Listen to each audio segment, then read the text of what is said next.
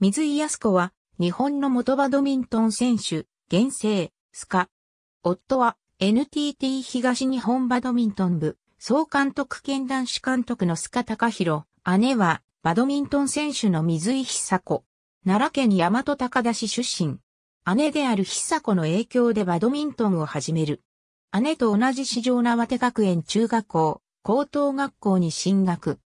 中学校時代は全国中学校バドミントン大会で3年連続出場して1990年、中学校3年時では女子シングルスで優勝を果たしている。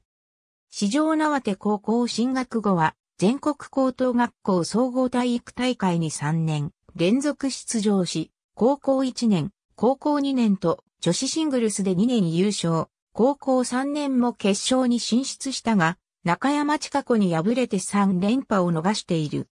また1993年には全日本総合バドミントン選手権大会に出場。高校生ながら決勝まで勝ち進み、優勝をかけた決勝では、姉の久子との姉妹対決となり姉に2から0で敗れたものの、準優勝を果たしている。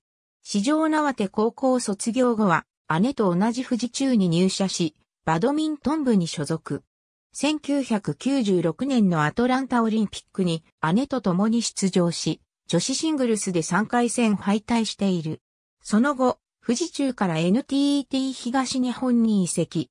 1999年の第53回全日本総合バドミントン選手権大会では女子シングルスにて優勝。2000年にはシドニーオリンピックに出場。女子シングルスで日本選手初となるベスト8進出を果たした。シドニーオリンピック後に現役を引退。2001年4月8日、ヨネックスオープンジャパンの最終日に引退式を取り行った。引退後に同じ NTT 東日本バドミントン男子部の選手だったスカタカヒロと結婚。ありがとうございます。